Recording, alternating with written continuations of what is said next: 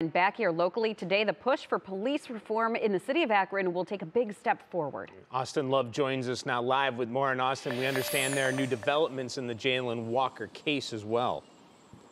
Yeah, absolutely. On, on, both fronts, today is a big. Uh, we'll be seeing big changes in policing and how it will look in the city of Akron. And the city council plans to complete its uh, last steps towards establishing the Citizens Police Oversight Board. We'll have more on that to come. But this comes in the wake of the shooting death of Jayland Walker. It has now been nine months since he was since he was shot and killed in the city of Akron. Last night, in a community meeting at New Hope Baptist Church, all were welcome to hear and understand whether or not the eight officers involved in what will be invited, in, indicted, excuse me, by a grand jury. All eight officers are going to be presented to the grand jury, but whether or not all eight will be charged depends on that jury. Steve Mylett is the Akron's new police chief. He says that officers will have to answer for their actions on that night.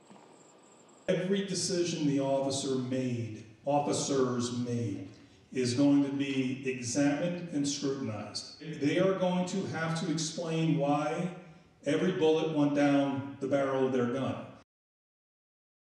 Well, Mylett, in that community meeting yesterday, did address that he was surprised at how quick this whole process with Jayland Walker and that trial is going right now. Typically, it takes about 14 months to present evidence to the grand jury. Uh, so far, it will be uh, evidence will be headed to the grand jury in less than a year. Dave. Okay, Austin, thank you for the latest. See you later on this morning.